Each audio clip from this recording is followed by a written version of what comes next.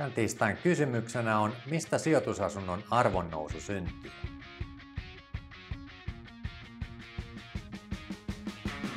Joka tiistai vastauksia asuntosijoittajia ja vuokranantajia askarruttaviin kysymyksiin.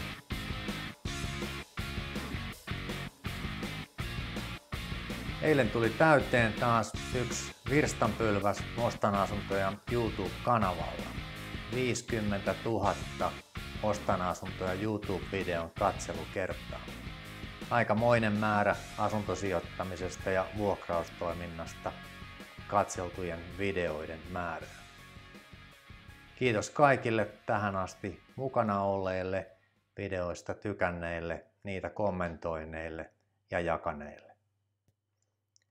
Yleisesti puhutaan, että asuntosijoituksen tuotto tulee arvonnousun ja vuokratuoton yhdistelmänä. Tämä on kuitenkin aika suppea katsantokanta, varsinkin jos sitä tuottoa lasketaan pelkästään vuokratuottoprosentin laskentakaavaa käyttämällä. Jo ihan pelkästään sen takia, että tämä laskentakaava ei millään tavalla huomioi minkäänlaista arvonnousua siinä sijoitusasunnossa. Mutta tällä kertaa ei paneuduta nyt siihen vuokratuoton laskentakaavaan juuri tätä enempää. Mainitsen sen lyhyesti tässä videon aikana, vaan nyt keskitytään puhtaasti siihen arvon nousuun. Mun blogeja pitkään lukeneet tietää, että mä oon aika vannoutunut niin sanottu positiivisen kassavirran puolesta puhuja. Eli mun mielestä asuntosijoituksia ei pitäisi tehdä sillä tavalla, että niistä ei tule positiivista kassavirtaa. Tämän jakson sponsoroi sijoitusasunnot.com, joka ostaa kokonaisia kerrostaloja tukkualennuksella, jalostaa niistä sijoittajille optimaalisia asuntoja ja tarjoaa niitä alle markkinahinnan. Käy sijoitusasunnot.com-sivustolla, liity sähköpostilistalle ja saat tiedot uusista kohteista ensimmäisten joukossa. Tällä kertaa mä yritän jättää tätä mun positiivisen kassavirran fiksaatiota taustalle ja selittää, minkälaisista elementeistä erilainen sijoitusasunnon arvonnousu voi koostua. Ensinnäkin tämä sijoitusasunnon arvonnousu voidaan jakaa kahteen eri komponenttiin. Ensimmäinen komponentti on markkina-arvon nousu ja toinen komponentti on tekemällä tehty arvon nousu. Vaikka Suomessa ei ole koettu massiivista isoa asuntojen arvonlaskua sitten 80-90-luvun vaihteen 90-luvun alkupuolen jälkeen, se ei silti tarkoita, että asuntojen arvo ei voisi laskea.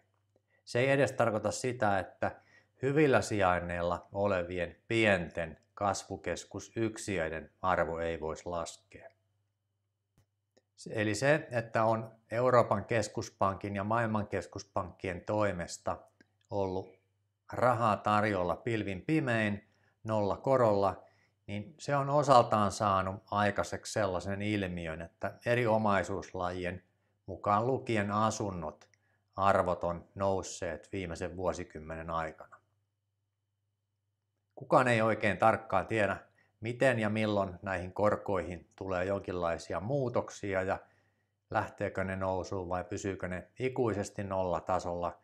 Mutta mikäli ne jonain päivänä lähtee nousuun, niin siinä on hyvinkin mahdollista, että käy päinvastaisesti, eli asuntojen arvot lähtee pikkuhiljaa tippumaan korkojen noustessa. No, miten tämä, mitä tämä tarkoittaa käytännössä sijoitusasunnon ostamista pohtivalle asuntosijoittajalle.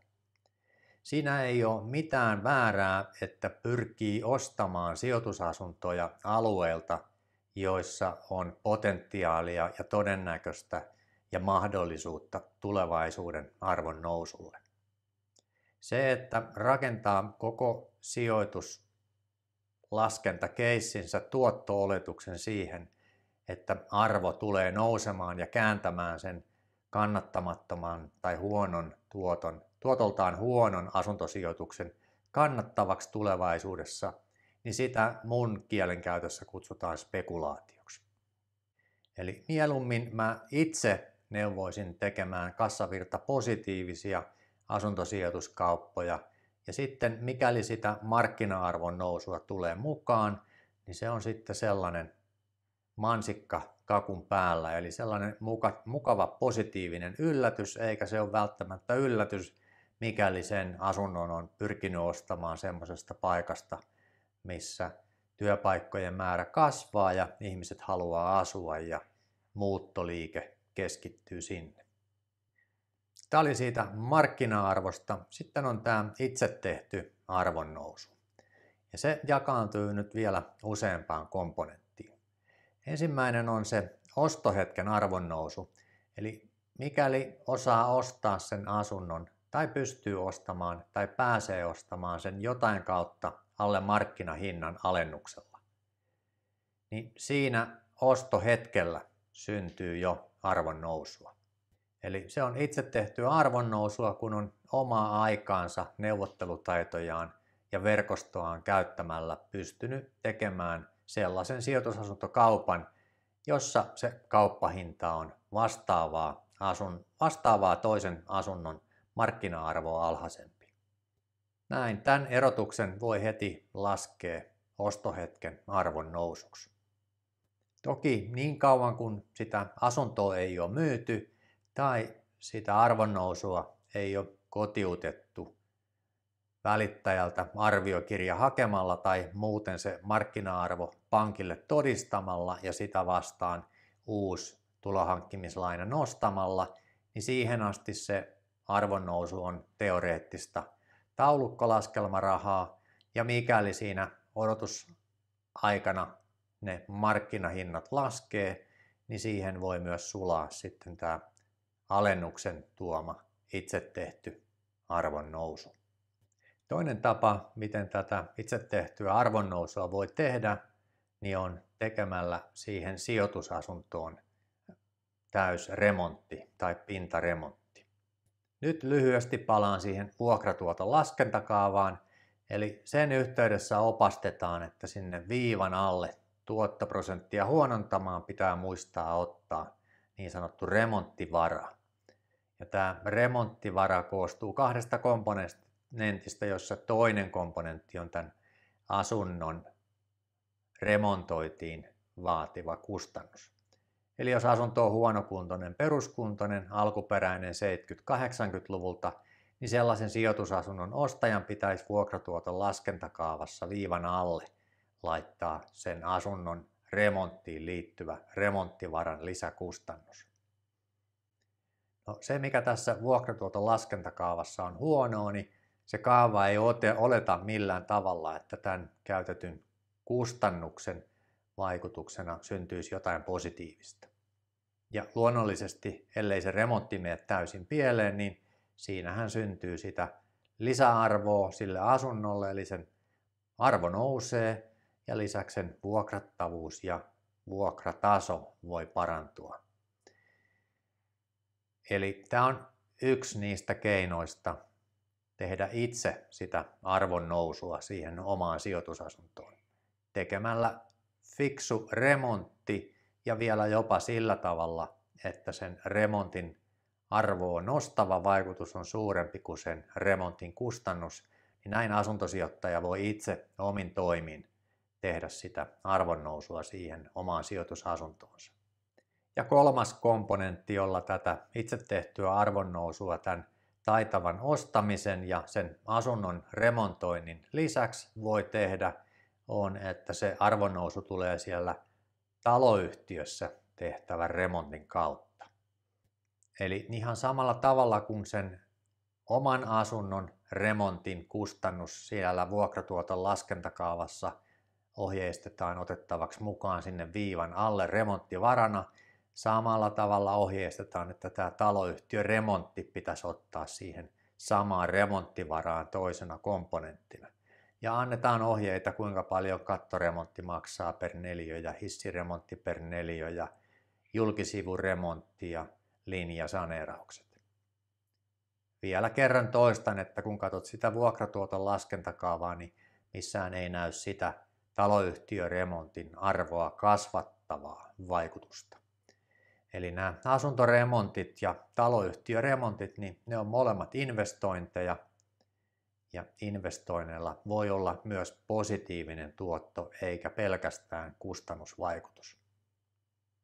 Joskus se tuotto ei ole riittävän positiivinen, eli se investoinnin kustannus on suurempi kuin mitä se investoinnin arvoa korottava vaikutus olisi, mutta mikäli markkinat toimii oikein, niin silloin tällaista vääristymää ei pitäisi päästä tapahtumaan.